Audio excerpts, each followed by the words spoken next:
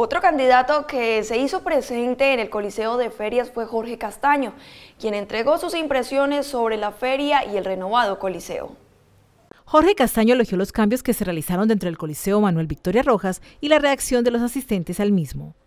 Maravillados, maravillados primero de lo que ha pasado con, con el Coliseo. Mi señor padre tiene 77 años y ahorita me decía, mijo, me siento como, como si fuera un niño, me siento de 10, de 15 años recorriendo pues todo este tema del pueblito tulueño, la cultura que ya se vive ahí, la arquitectura que recuerda esos momentos históricos que ha tenido nuestra ciudad. Y hoy el Coliseo es otra cosa, tiene otra cara, tiene otro aspecto. Yo creo que eso es un valor muy agregado que se, se, debe reconocer y se debe valorar de esta gestión de este actual alcalde que ha hecho las cosas muy bien y esos buenos proyectos y esos modelos implementados en las ciudades deben continuar.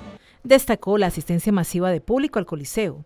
Se nota el respaldo que se está dando también, ya o ver tanta cantidad de gente viniendo al Coliseo otra vez, creyendo en las festividades que se dan en la Feria de Tuluá, se volvió a coger ese fervor, se, se cogió ese amor por la Feria de Tuluá de nuevo y gracias también a su innovación. Yo digo que todos los días en estos proyectos y, y, propósitos debemos tener la innovación, ir mejorando, la mejora continua, porque los procesos se deben manejar así como en cualquier industria.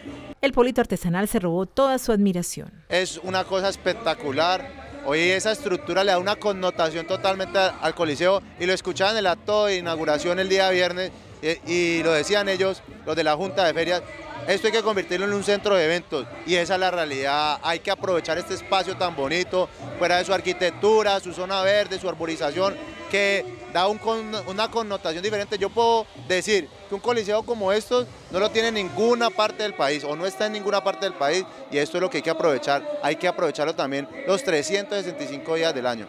El candidato envió un mensaje a todos los tulueños que están por fuera de su tierra para que amen la feria y regresen cada año para disfrutarla. Que la feria primero es un acto para la familia, para los amigos, para esas personas que han, estado afuera y solo vienen en esta época del año a conocer lo nuevo que ha pasado en Tuluá y a, reconocer otra vez a su familia, a sus amigos, porque vienen con ese fervor de estar en familia, acompañados. Esta es la mejor integración que nosotros tenemos una vez al año.